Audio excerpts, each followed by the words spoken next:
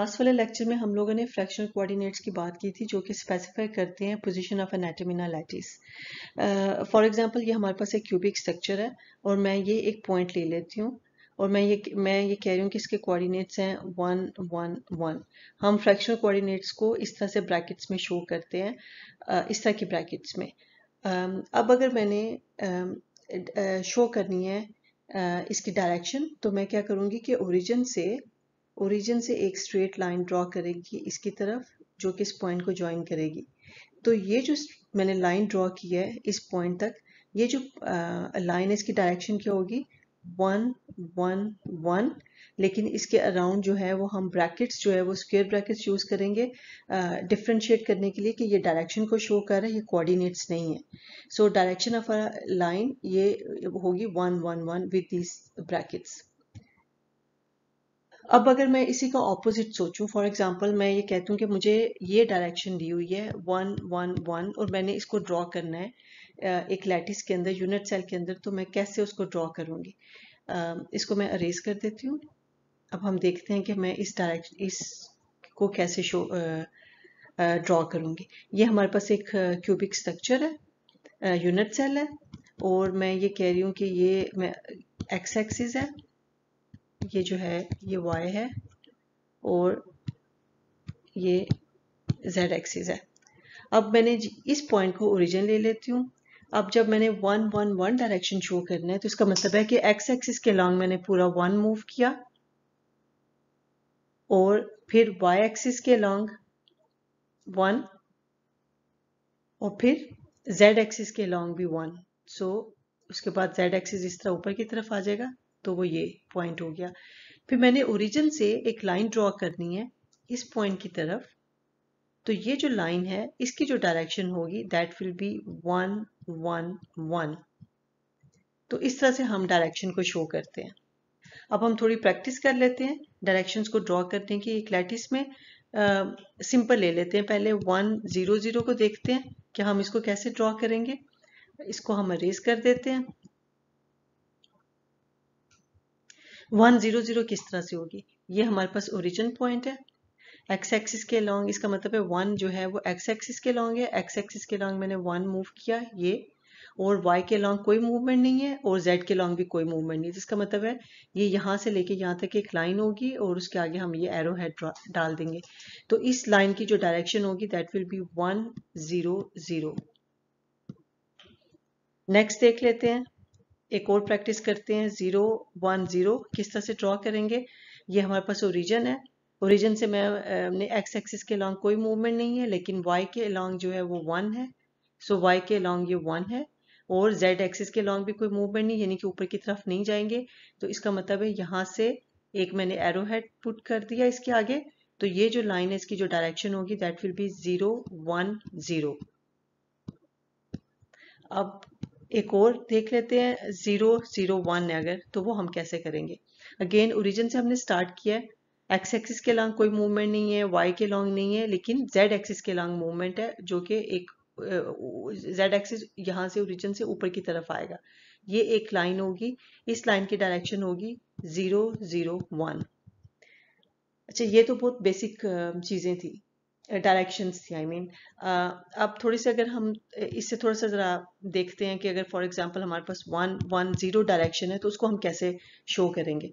So one one zero है तो इसका मतलब है अगेन ओरिजिन से मैंने स्टार्ट किया एक्स एक्सिस के लॉन्ग में वन मूव किया है वाई के लॉन्ग भी वन और जेड के लॉन्ग कोई नहीं है। तो इसका मतलब है वो यहाँ पे पॉइंट आया और मैं ओरिजिन से फिर एक लाइन ड्रॉ करूँगी इस पॉइंट तक। तो ये जो लाइन होगी इसकी डायरेक्शन हो जाएगी वन वन ज़ीरो इसी तरह नेक्स्ट कर लेते हैं वन ज़ीरो वन है तो इसका क्या मतलब है? ओरिजिन से मैंने स्टार्ट करना है एक्स एक्सिस के लॉन्ग मैंने वन मूव किया है वाई के लॉन्ग कोई मूवमेंट नहीं है लेकिन जेड के लॉन्ग मूवमेंट है जो कि ऊपर की तरफ़ आ जाएगा जेड एक्सिस के लॉन्ग सो so, ये वाला पॉइंट तो इसकी डायरेक्शन क्या होगी? ओरिजिन से मैंने एक स्ट्रेट लाइन ड्रॉ करनी है इस पॉइंट के ऊपर. तो ये जो लाइन है ये जो लाइन होगी इसकी डायरेक्शन हो जाएगी वन ज़ीरो वन नेक्स्ट हम देख लेते हैं zero one one so zero one one को कैसे रिप्रेजेंट करेंगे?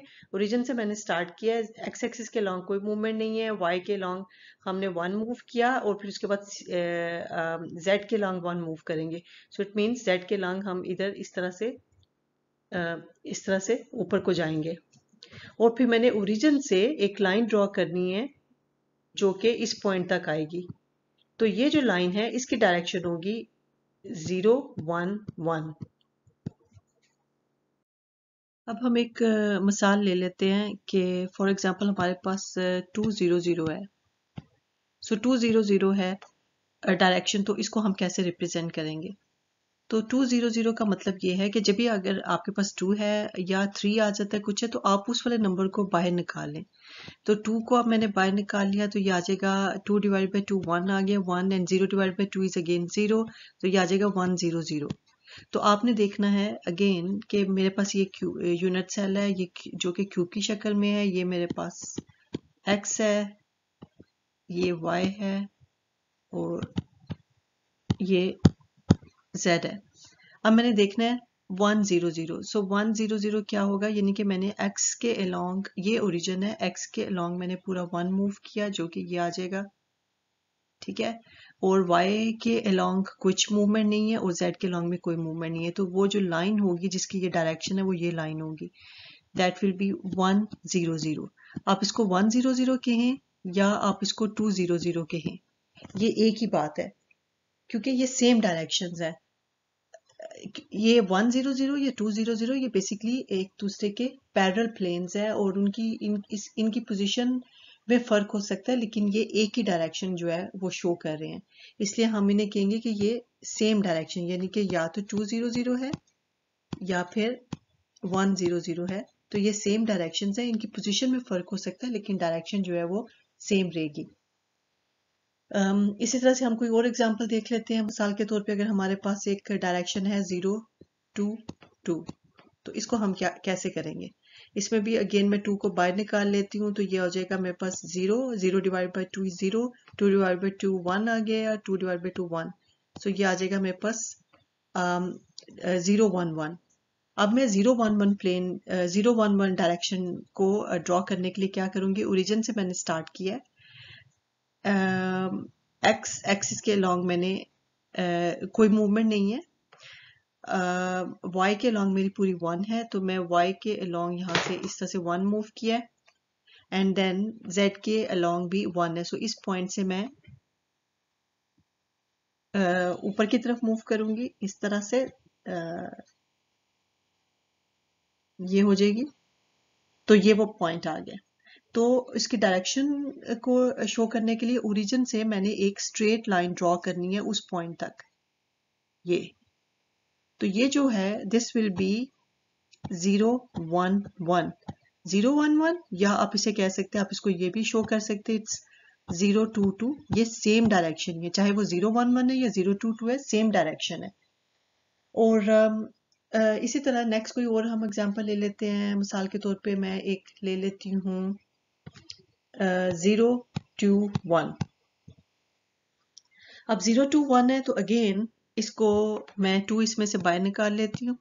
So zero divide by two is again zero two divide by two is one and one divide by two is one by two अब हम इसको draw करते हैं। Again हमारे पास ये यूनिट सेल है। स्टार्ट मैंने यहाँ ओरिजिन से किया और ओरिजिन से मैंने एक्स uh, एक्सिस के लॉन्ग कोई मूवमेंट नहीं है। वाई के लॉन्ग वाई के लॉन्ग जो है वन मूवमेंट है मैं कोई कलर चेंज कर लेती हूँ उसको डिफ्रेंशिएट करने के लिए।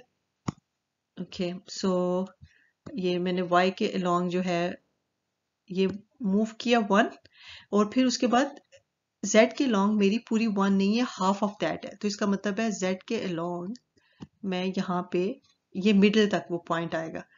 तो मैं फिर इस डायरेक्शन को शो करने के लिए क्या करूँगी? ओरिजिन से मैंने एक स्ट्रेट एक लाइन ड्रॉ की है उस पॉइंट तक। ये।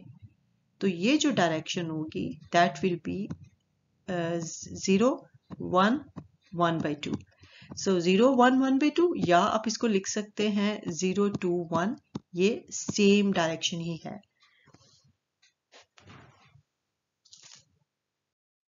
अब हम एक और एग्जांपल कंसिडर करते हैं कि अगर मेरे पास एक डायरेक्शन है वन और उसके ऊपर एक बार है वन और ज़ीरो इस बार का क्या मतलब है? इस बार का मतलब है कि नेगेटिव नेगेटिव एक्सिस यानी कि नेगेटिव साइड अब यहाँ पे चूँकि फॉर एग्जांपल ये हम देखते हैं आ, ये हमारे पास अगेन एक क्यूब है एक यूनिट सेल है.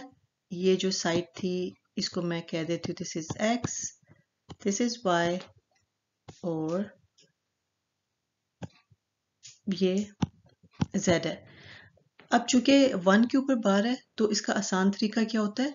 सिंप्लिसिटी के लिए हम जिसके ऊपर जो, जिसकी नेगेटिव साइड है, को कंसिडर करना हम उसको ओरिजिन कंसिडर कर लेते हैं। पहले हम ओरिजिन कंसिडर कर रहे थे इस पॉइंट को।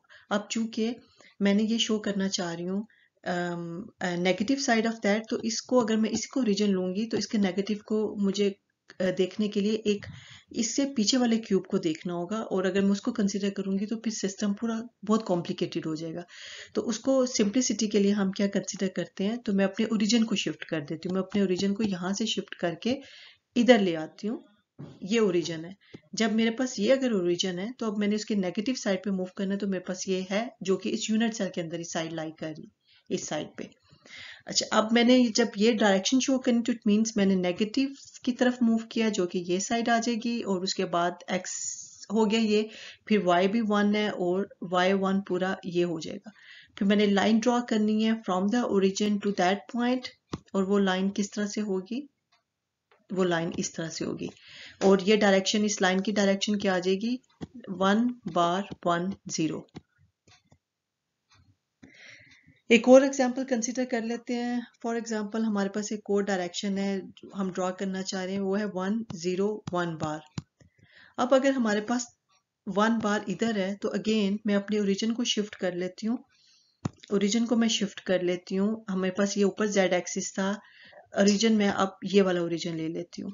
क्योंकि मैंने नेगेटिव साइड पे मूव करना है, इसलिए अगर मेरा नेगेटिव जो है, वो डाउनवर्ड हो जाएगा इस यूनिट सेल के अंदर ही।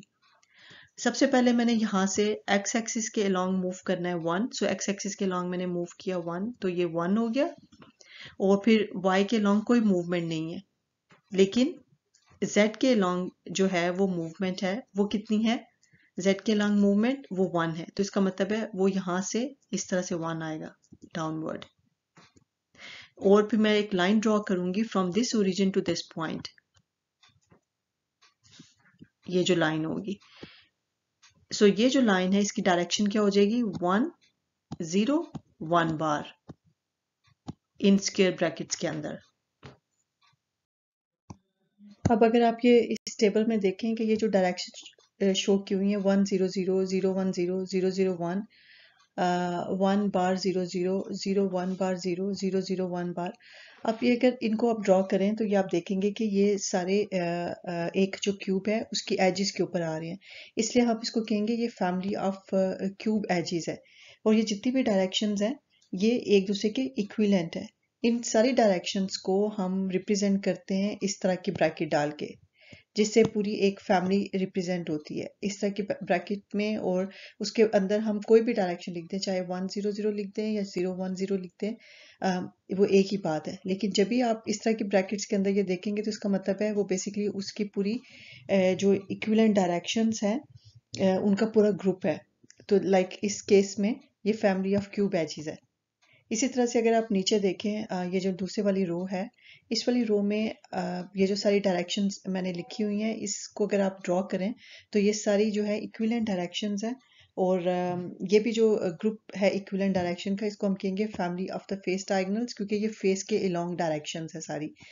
तो इस, इनको भी शो इनको भी इन सारी डायरेक्शंस को इस तरह से रिप्रेजेंट करने की के, इसके अलावा हम इसको यूँ रिप्रेजेंट कर सकते हैं इस वाली ब्रैकेट के अंदर, जिसका मतलब ये है कि ये पूरी फैमिली को शो कर रहा है।